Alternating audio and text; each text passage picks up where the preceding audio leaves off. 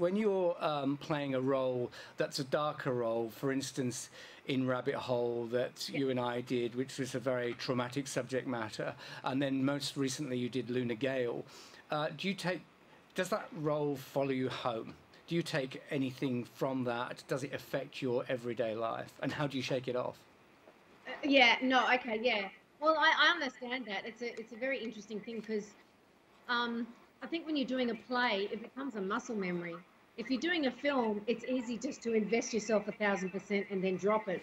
But to revisit it eight times a week and to create that world and where it has to be it has to be authentic. So um, mm. it I don't I don't have any trouble shaking it off. I must admit. I think the bigger the character and the bigger the stakes, in here it is for me to jump in and jump out.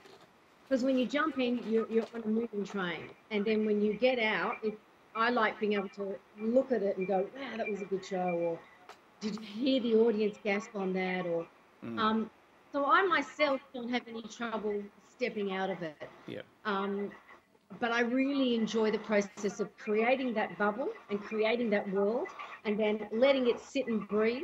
And then when you do the show, you step into it. And then at the end, you can step out of it. And then, but, but sometimes I think if it's been a very emotional night, um, I, I, I don't get upset by it, but I really do. It's very, it's exhilarating actually yeah. because you, the, the job, the story is hitting the places where it needs to hit. Yes, right. That's yeah, I can understand. But I feel that sometimes when you do it, the darker a role, the more the more uh, relieved and happy you are once you've finished. Yeah, isn't that weird? Yeah. I mean, when we rehearsed in Luna Gale, and I remember in um, Rabbit Hole, I mean, we were ripping shreds. Hilarious! It was hilarious. And, and, then when you're backstage, you're mucking around like crazy children yeah. Yeah. because it's the it's the counterbalance for the drama. The release, so yeah. It, it's a way of letting everyone know, hey, it's okay. I don't mean it. when I shout at you and say I hate you, I really love you. and how did you first become involved uh, with your long relationship with the ensemble theatre? Okay, well, um, I actually, I, um, I, I wanted to uh, do my work experience at the ensemble, and that was when Hayes was there. Mm. Um, and I did, and I was seduced by the um, the way that the theatre focused purely on acting and storytelling. With the ensemble, you really get the feeling that it's about the plays and about the audience, and about creating a, as an as exciting and as an authentic experience uh, for the audience as possible. And I really got the feeling of family.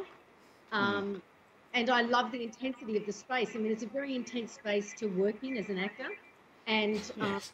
I really, yeah, I dig that. Yeah. I love I love the, the pressure that it creates. I, I like it. I enjoy it. And yeah, the intimacy of the uh, the audience is uh, is you feed off that energy. Actually, I think. Yeah, I mean, it's how they're, they're hugging you. Um, yeah. And then I did was I volunteered as an usher and worked behind the bar um, when I was 16, 17. I did that for a year and a half. And then I left school and went on my way.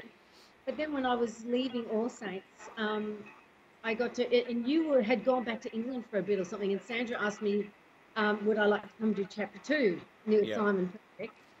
So I did that, and that was my first play at the ensemble, and I was pinching myself mm. the whole time. Right.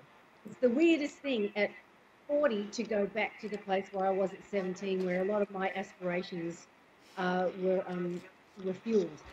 Being at the in the ensemble over the years for, in, in, many different productions, uh, uh, what are your uh, favourite parts about doing that? What, what are your favourite moments about being there, even? Um, well, I think. Well, I, I love doing chapter two because it was the first play I did there. Yeah. I love doing Hole with you because it was. I mean, I like I loved acting with you. I like doing a drama with you actually. Uh, it was it, we and we could play. I think we found a way to play with it. Um, mm, mm. We trusted each other, and that writing by David Lindsay Abaire, is it? Yeah, that's right. Yeah, wonderful. I mean, beautiful writing. Yeah. And that great, you know, relationship writing where people know each other and they have similar pain, but they're seeing it from different points of view. And mm. um, I really enjoyed the process of doing that with you. Um, I loved Luna Gale uh, because the play, the stakes were high. it was a strange world and it was a very uh, traumatic world. But I think the the playwright Rebecca Gilman just handled you so well, and the audience, even though it was confronting for them, especially the ensemble audience, they Yeah. felt because she she managed to tell the story with it with honesty, but also it's like these people are real, and you probably know someone like this. Mm, yeah, Um, absolutely. that to be a very rewarding experience. Um, and then I, I did love, um, I've done a couple of David Williamsons there, which were just so, uh, it, I mean, that was a revelation because in the, in the rehearsal room, David Williamson's plays, it's like, I'm not quite getting a rhythm for this, I can't find it Mm, because he's specific in the way he writes. And it's not until you get in front of an audience that you understand how he sets things up and how they pay off. yeah, So absolutely. um, I really enjoy that process.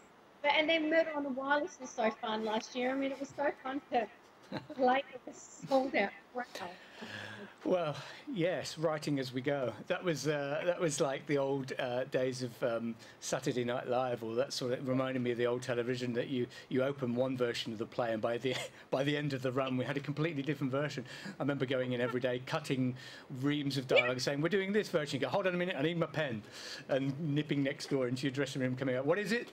Um, and refining it. It was great. It was interesting though, wasn't it? An interesting process of, as you were just saying about the David Williamson, of what an audience gives you.